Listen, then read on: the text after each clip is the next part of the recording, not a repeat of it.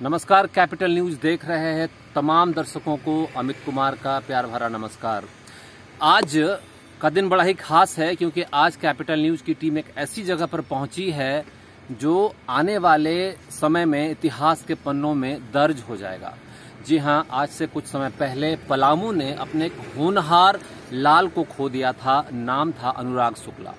अनुराग शुक्ला, जो कि अपने देश की अपनी माटी की हिफाजत के लिए हँसते हँसते अपने प्राणों को न्यौछावर कर दिया था। आज हम उनके पैतृक गाँव सिंगरा में पहुँचे हैं और आज कुछ खास होने जा रहा है, कुछ खास तैयारियाँ हो रही हैं इस सिंगरा गाँव में। और हमारे साथ इस वक्त शहीद अनुराग शुक्ला के पिताजी श्री जितेंद्र शुक्ला मौजूद हैं। हम उनसे जानेंगे। हमारे साथ सिंगरा गाँव के बहुत सारे लोग हैं।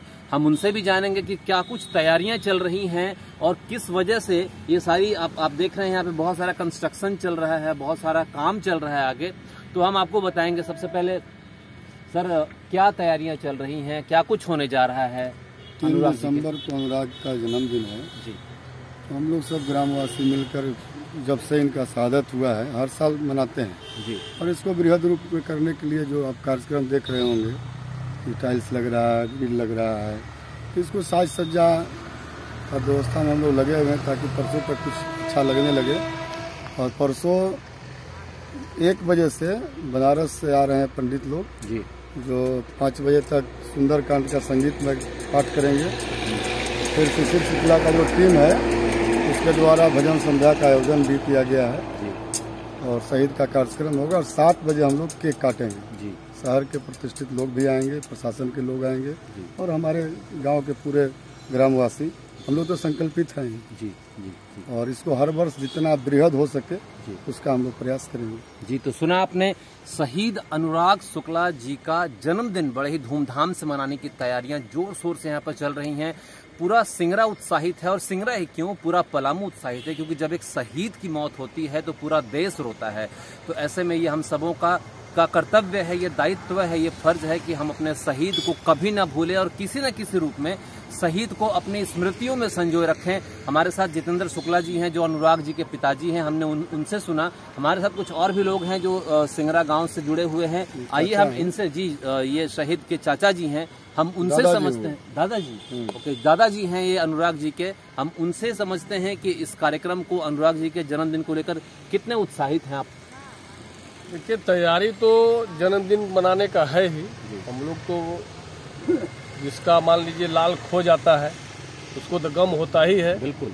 लेकिन वो ऐसा काज करते हुए चला गया है जिसके लिए हम लोग उसका आजीवन ऋणी है और उसका जन्मदिन और शहादत दिवस हम लोग जब तक रहेंगे धूमधाम से मनाते रहेंगे। इसमें इसमें किसी तरह का कोई कमी नहीं। नहीं बिल्कुल सुना आपने, अनुराग जी के दादाजी हैं, इन्होंने कहा कि देश ने अपने लाल को खोया है, लेकिन सिंगरा के जो लोग हैं, उनके परिवार के जो लोग हैं, उनके आसपास के जो लोग हैं, वो चाहते हैं कि उनका लाल उनकी स्मृतियों में हमेशा जीवित रहे, उनकी यादों में वो हमेशा जीवित रहे। हमारे साथ कुछ और भी लोग हैं, हम उनसे भी जानेंगे और उनका, उनकी भी राय सुनेंगे कि कितने उत्साहित हैं इस जन्मदिन कार्यक्रम को लेकर।